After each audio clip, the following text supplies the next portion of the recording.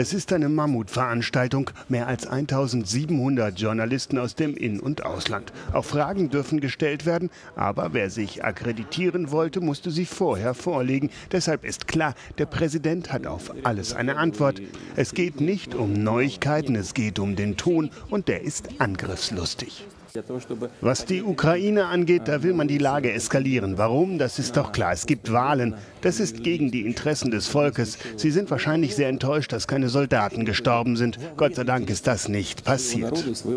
Zum inzwischen 14. Mal findet diese Jahresbilanz statt. Eine Propaganda-Inszenierung. Russland will fünftgrößte Wirtschaftsnation werden. Die WM war ein Riesenerfolg. Es wird Sozialreformen geben und die Sicherheit der Welt steht auf dem Spiel. Natürlich müssen wir für unsere Sicherheit sorgen, wenn die USA die Rüstungsverträge kündigen und Raketen in Europa stationieren. Wir wahren nur die Balance. Sie senken die Schwelle zum Einsatz von Atomwaffen. Das könnte zu einer globalen Katastrophe führen.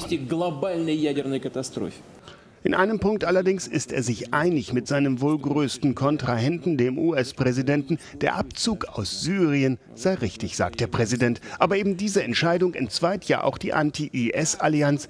Und er gilt als stärkster Verbündeter des syrischen Machthabers Assad. Es sind halt die verborgenen Töne, die es zu hören gilt.